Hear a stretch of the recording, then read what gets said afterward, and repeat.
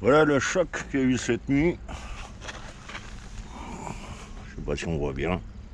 Il y a un équerre, ça s'est tout enfoncé, la protection.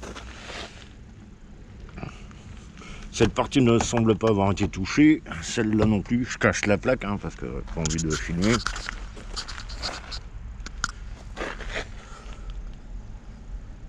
Ouais, voilà, c'est comme ça tout le long. Et euh, celui-là, il a un peu bougé. C'est pas méchant.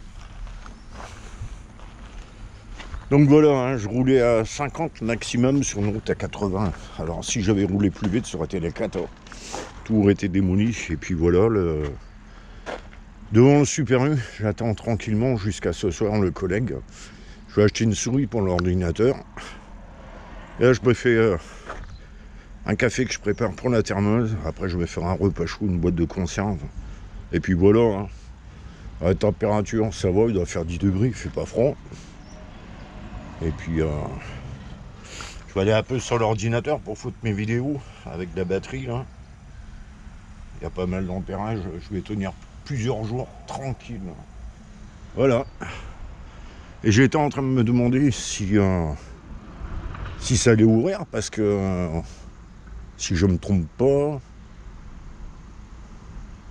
Ah non, le 11, c'est demain. Non, ça va ouvrir. Donc, euh, cool. Je termine tout ça, la bouffe, mon café.